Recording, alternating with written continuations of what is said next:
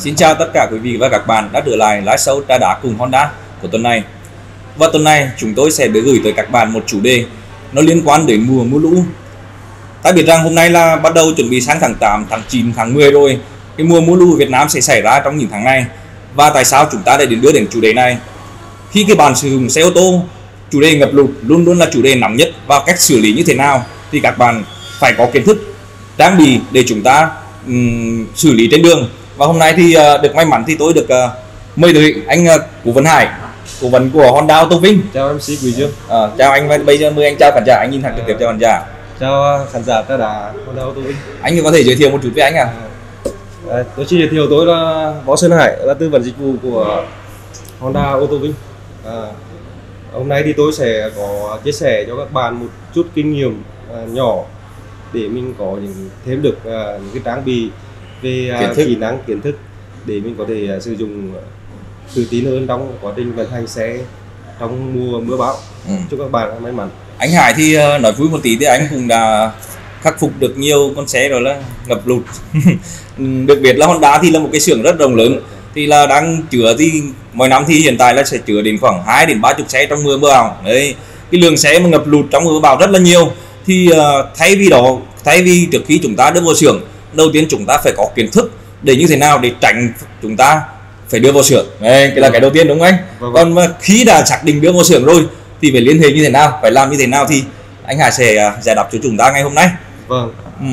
à, à, không biết là cho anh cho em hỏi là giới thiệu về gia đình anh Hải được cho uh, quý vị khán giả được biết được cái nào à, xin phép giới thiệu đi uh, mình uh, đã có một vợ và một cô nhóc nhỏ.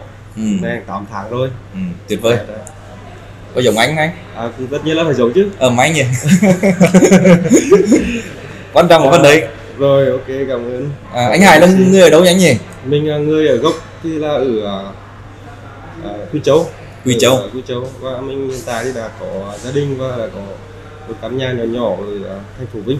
Và okay. mình sẽ lập nghiệp và gắn bó đấy ừ. trong cái, những cái thời gian còn lại. Ok các bạn yên tâm hiện tại anh Hải đang công tác và có nhà ở Vinh anh đã là gọi anh Hải dưới nào cũng được. Và để không mất thời gian của anh nữa vì ờ, để chúng ta sẽ đi thẳng vào vấn đề và sẽ trả lời của câu hỏi của các bạn khán giả. Vâng. À, đầu tiên thì trước khi xử lý cái tình huống trên đường thì phải có kiến thức. Kiến thức, kiến thức để trước khi gặp sự cố thì chúng ta phải có kiến thức cái đã để biết nó là ảnh hưởng đến mức độ nào đúng anh? Vâng à, có một câu hỏi đầu tiên. Bạn này có hỏi là trước mùa mưa bão đến gần tôi cần kiểm tra xe những hạng mục nào để đảm bảo di chuyển và lái xe an toàn. À, câu hỏi này rất là, là hữu ích và, và giá trị. Tức là cái gì thì tôi mình là đầu tiên là mình phải phong trước. Đúng rồi phong trước. Đầu tiên là phải phong trước chồng sau. Thì ở trên cái à, xe hơi thì à, thực ra nó có rất là nhiều chi tiết ừ. cần phải được kiểm tra. Tuy nhiên thì à, trong quá trình sử dụng xe ở thời điểm mưa bão thì cái cần thiết nhất đó là hệ thống ánh sáng và cần gạt mưa cần gạt mưa nó phải hoạt động tuân thủ để thứ nhất là để cho mình được cái tầm nhìn luôn luôn là là, là được uh, tốt nhất để tránh cái trường hợp là sẽ vấp những cái va chạm trên đường. Ngoài ra thì um, sao có như là mù đường đấy đúng rồi, đúng rồi. mắt nhìn nhìn thấy thì mình, mình, mình làm việc được. Thì uh, ngoài ra đi nói chung nếu như mà mình cẩn thận hơn hơn nữa thì, mình phải phải phải đưa đến các cái đại lý uh, showroom uy tín chất lượng để mình được uh, kiểm tra và và đánh giá một cách toàn diện nhất. Gạt bữa về hệ thống đen đúng không anh? Tức là ngoài những vấn đề đó thì mình phải kiểm tra tất cả những cái à. liên quan. Đặc biệt là nếu như đến uh, cái xe của mình mà nằm trong cái chu kỳ bảo dưỡng lần tới đó luôn thì mình cũng nên kết hợp để mình vào kiểm tra tổng quát. Chính xác ừ, tất cả các hạng mục trên xe từ lốp láp cho đến hệ thống gầm động cơ và hệ thống lọc gió động cơ điều hòa và các cái hệ thống dung dịch nước làm mát đến uh, xe của mình để để đánh giá một cách toàn diện cái xe của mình trước khi bước vào cái mùa mưa bão sắp tới. Ừ. đấy. Thì đó là một số cái mình em em nghĩ là phải mình phải nhất phải kế gạch ở nhà trước cái nhất đúng không? À. đầu tiên mình phải kế gạch ở nhà được đúng không anh? Thực ra là đây là câu hỏi mình đang còn là, là về nói về cái xe đúng không ạ? Kiểm tra về xe. Ừ. còn cái đó thì thực ra là mỗi, mỗi nhà có đều có một cái kinh nghiệm hai cái đó mình cũng nói được mình có thể là mình cũng có thể là giỏi bằng các uh, à người, mỗi nhà thì mỗi biển tàu nó khác nhau đúng không anh? Ừ. ok cảm ơn anh vì câu trả lời nó cũng đơn giản thôi. Đơn giản thôi. Ok. À, gửi đến hàng kiểm tra. gửi đến hàng kiểm tra. người ta là có tất cả những cái cần thiết để mình ờ, mình mà đầu tiên là mình phải tự kiểm tra được cái gạt mưa và cái À. đèn hệ thống đèn của mình đúng không anh? Đúng rồi mình kiểm tra gạt mưa đến bên cơ bản. Cơ bản. Đến với câu hỏi thứ hai. Khi tôi đi xe trong thời tiết mưa to gió lớn tôi cần làm gì để lái xe an toàn? À, khi tôi ờ, đi trong thời tiết mưa to tức là anh này đang có thể là anh đang, đang mô tả lại là anh đang đi trên đường thì mưa gặp mưa to gió lớn gió lớn. Thì làm như thế nào để có thể là lái xe một cách an toàn nhất trong điều kiện đấy? Thì đầu tiên là khi gặp mưa to gió lớn thì bắt buộc mình phải đầu tiên là mình phải giảm tốc độ xuống. Đúng rồi. Đấy mình phải giảm tốc độ để quan sát để đánh giá cái cái cái cái à, ờ, điều kiện điều kiện là điều kiện hoạt động thời điểm đó. Đúng rồi. Tuy nhiên thì kể cả trong thời điểm mưa to gió lớn thì cái xe của mình nó vẫn đang hoạt động bình thường thì nó vẫn đang hoạt động bình thường. Cái quan trọng ở nhất ở đây là mình cái tâm lý trong thời điểm đó để điều khiển phương tiện làm sao nó bình tĩnh nhất và và có thể đánh giá được những cái à, rủi ro ở phía trước để mình xử lý những cái tình huống đó có thể là xảy đến một cách à, bất ngờ. Thì cái đó thì nói chung là nó không ai có thể lường trước được trong những cái điều kiện mà ờ, mưa to gió lớn như thế. Nhưng mà điều quan trọng nhất là mình phải đi chậm và chú ý quan sát. Đó là Tập trung. điều, ờ, tập trung tập trung ở trong và làm chủ tâm lý đúng không anh? Đấy. Ok. Cái con Đấy, cái đấy thì nó nó nó thuộc về lĩnh vực của các bạn. Mình phải làm chủ tâm lý và tập trung. Khi lái xe còn thực chất thì đi trên đường mưa to gió lớn thì không ai biết trước được cả. Không, ai lường trước được. Đấy bỗng dưng nó mưa to thì mình vẫn phải đi tiếp thôi. Dạ, vâng, trừ trường hợp là bão thì mình chắc là mình cũng phải có thể nếu mà nếu như trong trường hợp mà nó à, cảm thấy nó nổ Không thể- không thể di chuyển được thì bắt buộc mình cũng nên dừng lại để, để có thể có thể mình có thể gọi điện cho người thân hoặc là những à, người tâm chuyên gia về về xe để người ta hỗ trợ mình. Thứ nhất là về mặt tâm lý. Ừ. để mà mình ổn định được cái, cái tâm lý. Sau đó thì mình có thể là đánh giá ờ, ở cái mức độ tiếp theo để mình ờ, đưa ra cái quyết định cuối cùng. Ừ. thì đó là những cái mình có thể chia sẻ về ờ, ok cảm ơn anh Hải ờ, ngay lúc đó thôi. Ok. Ừ, ta sẽ đến với câu hỏi tiếp theo anh Hải nhỉ vâng. Vâng Ờ, này này, này như anh cứ thấy bảo anh thấy trả lời không rụt rè nhỉ chừng hỏi là câu hỏi nó chưa nó chưa phong phú đồng đối với anh đúng không? Thực ra mình cũng hay đi coi ờ, những cái chương trình game show thành ra là cũng quen. À cũng cái đó hôm nay là mà chia sẻ thôi. hôm nay hôm nay ngồi đây thì À. không biết là gia đình mình có biết mình hôm nay lên sóng anh? À, chắc là không là vì Chắc- cái, chắc là không à? cái lịch trình nó quá là đột xuất à, thực ra là trước có hai hai ba tiếng đồng hồ là chị hàng có báo thì mình cũng có chuẩn bị qua một chút thôi.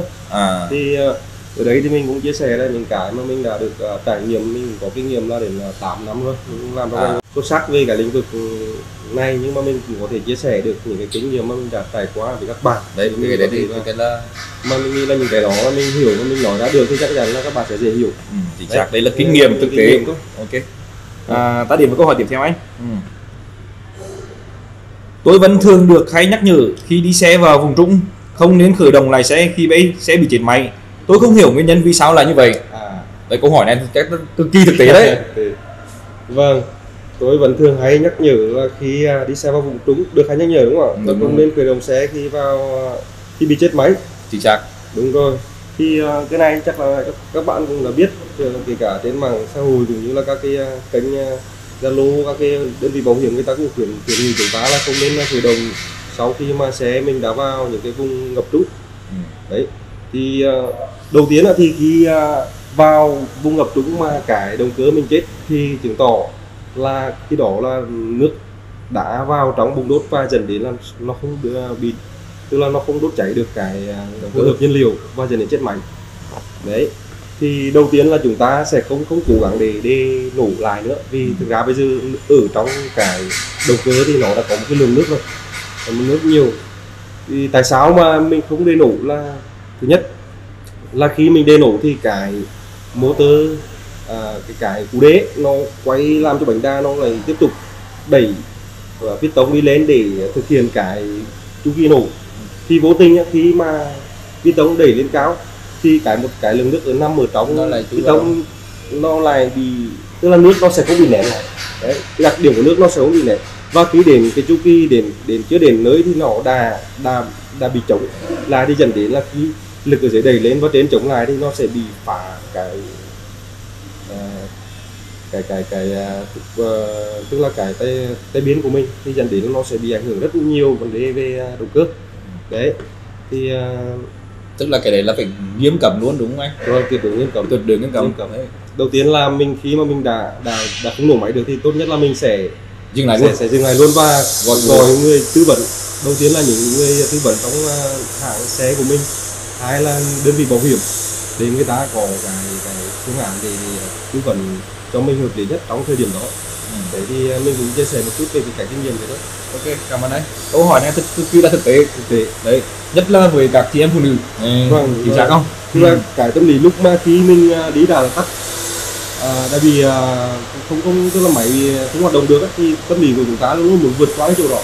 Thứ nhất là nó nước ngập này rồi thì uh, sẽ sẽ xung quanh cái điều kiện môi trường nó đang nước lên đá tất cả cũng muốn vượt qua nhưng mà thực tế không thể lúc đó là không thể nữa mà không mình thể chấp nhận.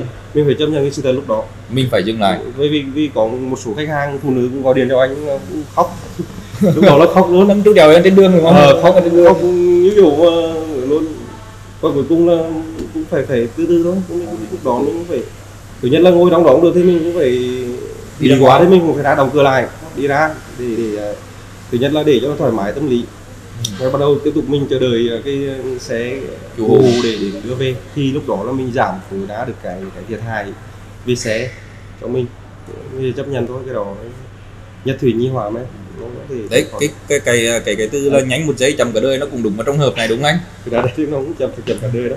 Bây chậm vài tháng thôi. Nó chậm vài tháng à? anh sẽ trả lại cái xe online cho ok. hàng không vấn đề gì hết. Mà đó là kinh nghiệm giảm thiệt hại của anh cho các bạn. chi phí túi tiền cho khách hàng cũng như là cái đồ uh, dính của cái xe đó. Ừ, ok ta để xe để câu hỏi tiếp theo. Chị lính này thì chỉ có một câu hỏi là xe của chị vừa đi công tác ở Hà Nội. Đợt mưa Hà Nội vừa rồi mưa ngập sẽ chỉ có đi qua vùng ngập nhưng không bị chết máy.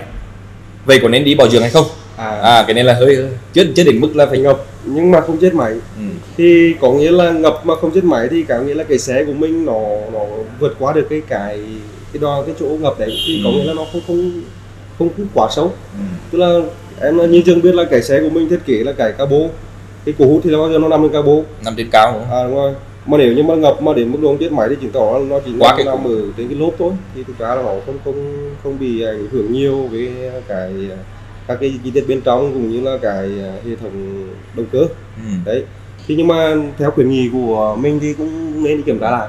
Đi chẳng biết đâu. Đó, có một số trường hợp ấy, nếu như ngập xấu quá nếu ngập xấu quá mà mà mình không đi kiểm tra để bảo dưỡng lại thì về mặt lâu dài nó sẽ bị ảnh hưởng và nó sẽ có thể là bị các cái motor thứ nhất là cái quạt gió ở phía trước ấy, nó nếu nó bị bị lâu quá mà nước ở trong biết sau đó nó sẽ chảy và cái đó mình sẽ không thể khắc phục lại được nữa mà phải thay mới thì ừ. đó cũng là một cái thiệt hại cho chủ xe ừ. đấy thì anh cũng khuyến nghị là nên đến các cái đại lý uy tín các hãng uh, của uh, xe của mình để được kiểm tra và được uh, kiểm tra và loại bỏ những cái vấn đề hư hỏng sau này ừ. cho khách hàng đấy, thì đó là cái khuyến nghị mình cũng không mất gì nhiều thời gian đúng không anh mình chỉ mất bỏ ra một số tiền ít thôi ít vài trăm nghìn gì đấy để mình kiểm tra thôi nhưng mà ừ. đổi lại là mình sẽ an tâm giảm được cái thiệt hại sau này cho mình cũng như là cái tâm lý khi sử dụng cái sản phẩm sau này okay. khi mà trời nắng ráo lại thì mình sử dụng thì nó lại yên tâm đấy. thì uh, đấy là câu trả lời cho chị Linh chị Linh uhm. vì hôm nay rất nhiều câu hỏi thì chắc là mình cũng phải đẩy nhanh nhiệt độ một tí à, rồi ok ừ. thì anh cứ hỏi đi anh sẽ cố gắng uh, chia sẻ những cái ok cái này thì uh, nó lại liên quan đến không di chuyển xe nó lại đợi xe một chỗ chị Thủy có câu hỏi như thế này. Xe City của chị không di chuyển để ở ngoài cửa nhà nhưng chị quên lên kính trời mưa được té vào trong nội thất bìa bướt chị phải xử lý như thế nào? À cái này thì không liên quan đến di chuyển nhá. Không di chuyển. Cái này để một chỗ. Để một chỗ nhưng mà lại quên kéo kính. Này chị này lại quên kéo kính. Thực ra thì đầu tiên nếu như mà mưa to mà không kéo kính thì chắc chắn là nước nó sẽ vào ở trong khoang cabin. Khoang nội thất. Khoang cabin nội thất. Thì đầu tiên là các hệ thống ghế nó sẽ bị uh, ngấm nước vào đúng không ạ? Đúng rồi. Đấy để ngấm nước vào. Nếu như mà nhẹ nhàng thì mình có thể vệ sinh bên ngoài nếu mà nặng hơn thì bắt buộc mình phải nổi bọc da ra để mình uh, sấy cái phần mút nỉ bên trong. Ừ. đó. Tức là mình sẽ cũng buộc phải đến cũng như là phải đến hàng để kiểm tra và đánh giá tình hình. Những cái, cái chẳng hạn nó có xuống đến san không anh? Có chứ. Phải xuống đến san luôn. San chắc chắn nếu như trường hợp mà để xe anh cũng không biết là nếu như hỏi là cái, cái lượng mưa nó có nhiều hay không nhưng mà nếu mà mưa mà mưa rào mà ấy thì anh khẳng định là luôn là là chắc chắn là phải xảy lại san đấy. Ừ. kể cả san bóng giá mình phải lột cả san nó xảy lại. vẫn phải xảy san nếu mà mưa mà tầm khoảng tiếng mà bảo là không kéo kính thì chắc chắn là rất là nguy hiểm cực kỳ nguy hiểm. Cực kỳ nguy hiểm. Và các hệ thống công tác cũng bắt buộc nếu như cẩn thận hơn là cũng phải mở ra để xảy lại để bảo dưỡng lại để tránh những vấn đề về chập chập chạm mày chăm chăm chăm mạch chăm mạch lúc có thể xảy ra nhưng mà có thể một thời gian sau nó mới bị thì à. mình phải kiểm tra cẩn thận. Đấy, cái nào thì cũng phải ờ, dứt khoát. Đã có nước mưa vào rồi thì chắc chắn là mình phải kiểm tra và xử lý. Không thể để theo thời gian được đúng không anh? Vâng tức ừ. là mình phải kiểm tra và xử lý dứt điểm. Cái cái xe của mình nếu như mà để nước nó ngấm vào nó ảnh hưởng rất là phức tạp. Có thể là một vài năm sau nó cũng xảy ra cũng đấy ừ. nó nên là cái gì để mình kiểm tra cẩn thận về cái vấn đề về nước đặc biệt về nước nhất thủy nhi hỏa vẫn không rất là nhất thủy nhi hỏa em cứ hỏi đi. Kính lái của xe tôi đi khi trong đêm bị mờ. Bị mờ. Khi mưa mưa đến có ảnh hưởng gì đến an toàn khi di chuyển hay không? Cái này thì cần chi phí hỏi nhé thì nó đang mơ đi chắc chắn là mình cũng thấy được rồi. Đúng mình cũng thấy đi nhưng mà làm sao để mơ anh? được. Nhưng mà mình bây giờ làm sao để mơ cái đầu tiên là mơ đi là nguyên nhân thế nào? Trong cái cabin lúc khi mình uh, đi xe mà bị mơ chứng tỏ là cái hệ thống hút ẩm không khí trong xe có vấn đề một ừ. là điều hòa nó có vấn đề hai là mình quên bật điều hòa ừ. đấy thì nếu lúc mơ đó thì hoặc là cũng có một trường hợp là bật điều hòa bình thường nhưng cái cái gió điều hòa nó phả liên tục vào kính thì cũng gây ra cái hiện tượng do cái hướng gió mình chỉnh không kính đúng không? À, cái hướng gió nó cũng sẽ gây ra cái việc là cái chênh lệch nhiệt độ bên ngoài bên trong ấy thì giống cục nước đá mình mà bên trong của đá bên ngoài nó chảy chảy mũ thì cái đó hiện tượng à. Thì cái đó thì mình phải kiểm tra nếu như mất trường hợp anh nói nhá ví dụ như là cái điều hòa nó không mát nó có vấn đề mà bị mù ấy thì rõ ràng là mình phải hạ cái xuống ừ. để cho cái không khí à, độ ẩm bên trong và bên ngoài nó cân bằng với nhau thì lúc đó là tự nhiên nó sẽ hết mơ đấy hai nữa là cái cái uh, điều hòa mà nó bị phá như thế thì mình bắt buộc mình phải chỉnh lại cái hướng gió điều hòa ừ. cũng như là mình gạt uh, bật cái gạt mưa để cho nó mất cái lượng nước bên ngoài đó thì dẫn đến là nó sẽ cũng sẽ làm sạch được cái bên mặt kính ừ. thì cái đó thì nó uh, mình thì phải đánh giá được cái lúc đó ừ. thì okay. uh, cũng có trường hợp là mình uh, cái điều hòa mà không hoạt động được thì mình à, tức là không trời trời mát nhé ừ. trời mát mà mình lại không cũng muốn bật điều hòa nhưng mà mình đóng kín thì bắt buộc một là mình bật điều hòa hai mình phải hạ kính thì nó cũng mới mất cái vấn đề mưa đấy đấy thì ờ, cùng cái này là cùng nắm giải đấy vì nhiều khách hàng không quen thì sử dụng điều hòa nhiều lúc họ không biết. Đấy cũng nghĩ là tưởng là kính xe có vấn đề. Thực chất là nó liên quan đến cách sử dụng của mình cả. Dạ ok. Mấy cái một cái gì thế lần đầu mà gặp mà cứ vướng mắt là sẽ xảy ra là cái tâm lý rõ lắng chính xác. Đấy thế thì các bạn đã đang à, nghe được anh Hải anh lý giải về cái nguyên lý hoạt động vì sao là kính mơ. Ok. À, thôi để không mất thời gian của chương trình thì chúng ta sẽ đến với câu hỏi cuối cùng. Ừ. câu hỏi này thì bị ngập rồi anh ạ. Ngập. Ngập rồi, rồi. À, xe anh đã bị ngập được và anh có mua bảo hiểm tấn bò ừ. vậy anh có sẽ được vậy xe anh có được bảo hiểm hay không? Đấy. À. câu này đi đến uh, cái sang luật cái này thì nó mang về, về tính pháp lý một chút. Pháp lý đấy. Chứ không mang về tính kỹ thuật. Cái này ừ. thì nó hoàn toàn là, là liên quan đến vấn đề về, về luật bảo hiểm. Thì đối với uh, xe mình khi là mình sử dụng bảo hiểm thì thường chúng ta tư vấn cho khách hàng về cái xe mới mua bảo hiểm thì luôn luôn là full điều khoản. Thì trong đó có cái điều khoản là điều khoản thủy ích. Đấy. Thì một số uh, ở trong hãng mình thì gần như tiêu chuẩn là luôn luôn là tư vấn cái điều đó. Tức là khi khách hàng thì khách hàng mới người ta sẽ không biết được nhiều.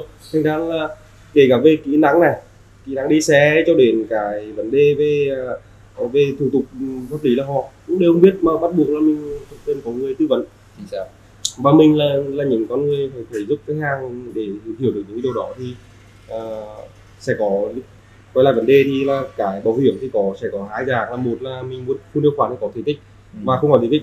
Nếu như trường hợp um, không có thể tích thì sẽ khi mà xảy ra sự vụ thì sẽ không được đi. À, chính xác có liên quan đến điều khoản. Tuy nhiên tuy nhiên thì cái à, vẫn có một cái nữa là nếu như không bị thủy kích mà ngập ngập lụt đấy thì à, cũng sẽ được đi. À tức là không không, à, không, không thủy kích tài à, không thủy kích tức là liên quan đến đâm va lật đổ cháy nổ thiên tai. Ừ. đấy thì ví dụ như xe mình ngập thì nhưng mà cũng phải sẽ bị chế tài khoảng 30 phần trăm ba mươi phần trăm cho cái vấn đề về liên quan đến cái cái ngập nước đó. Tức là trong tổng tổng thể cái vấn đề liên quan đến thiệt hại ngập nước thì sẽ bị chế tài ba năm? Ví dụ anh làm hết 10 triệu thì à, bảo hiểm sẽ đến à, 7 triệu. 7 triệu còn 3 phần trăm thì anh thanh toán trong đó là có 500 miền thương một vụ. À, cái biệt thương này không nói rồi đúng rồi thì là còn nếu mà giả sử có thủy kích mà có cái điều khoản này thì chắc chắn bảo hiểm sẽ đến một trăm phần trăm. Ừ. từ trăm phần trăm. Ok đấy là các cái cái cái kinh nghiệm của anh và cái hiểu biết của anh Hải để chúng để chia sẻ chúng ta biết. đấy. Khi mà anh bị ngập nước rồi liên quan đến bảo hiểm thì chắc chắn nó liên quan đến các điều khoản ban đầu khi anh sử dụng. Và anh phải liên hệ ngay người cấp bảo hiểm cho anh. Đấy có thể là trong hàng hoặc ai đấy thì người đấy sẽ nắm rõ được là cái bảo hiểm của anh thì có những cái điều khoản gì và có được đền bù hay không? Đấy. Thì uh, hôm nay thì được có một buổi chia sẻ của anh Hải. Tuy ngắn nhưng mà cũng dài. Đấy, cũng đủ để chúng ta biết được có kinh nghiệm là trước và sau khi mà xe bị ngập nước thì chúng ta nên chuẩn bị và phải xử lý như thế nào. Tất nhiên là chúng tôi luôn khuyến cáo là phải gọi đến những người hỗ trợ của hàng để chúng ta nắm được rõ tình hình và xử lý một cách kịp thời. Vâng thì uh, hôm nay thì được một ít thời gian thì cũng có gì nhiều thì là mong là lần sau chúng ta sẽ được gặp lại và ngồi lại đây và nói những cái vấn đề khác. Uh, chia sẻ với khán giả. Và khán giả thì có cũng có một nhiệm vụ khác đó là có những câu hỏi nào thắc mắc thì các bạn hãy gửi lại cho chúng tôi để chúng tôi biết được nắm được. Và những chương trình sau chúng tôi sẽ tích hợp lại thành một chủ đề và chúng tôi sẽ trả lời các bạn một cách trực tiếp và chuẩn xác nhất. À, thôi thì uh, hôm nay thì uh, được cảm ơn anh Hải đã có trong chương trình. và xin chào tất cả các bạn. Xin chào các bạn